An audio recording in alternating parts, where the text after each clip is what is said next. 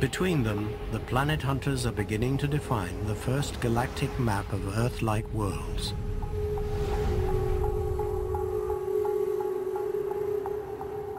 At last, a phone directory for those listening for a message from E.T.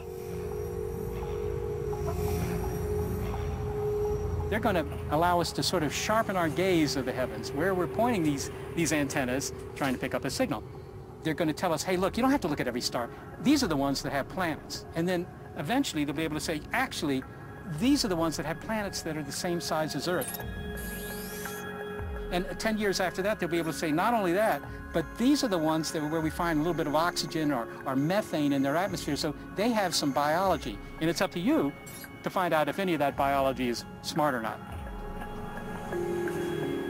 Rather than the entire galaxy of 200 billion stars, in the future, SETI need only tune into the handful of star systems that Kepler discovers.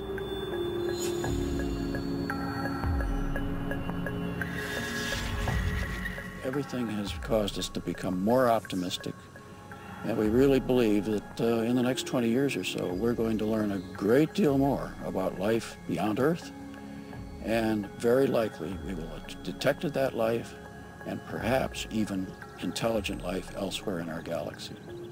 Remember, there's a flip side to this.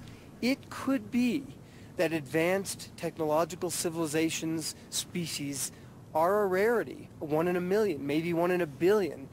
If so, we humans could be quite a precious rarity in the Milky Way galaxy. Maybe, in fact, they're not out there watching us. We may be the ones to be the first to go out and explore the galaxy.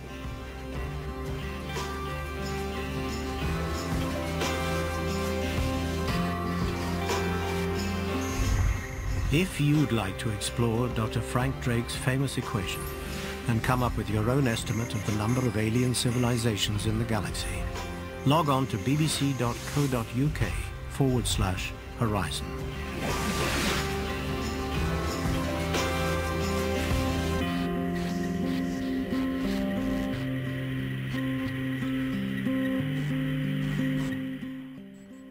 No aliens on Newsnight tonight, at least none I recognise. We're in the States for crucial primary elections. We're trying to find out what Nick Clegg's about and wondering what Ian Paisley's memorial will be. Join us at 10.30.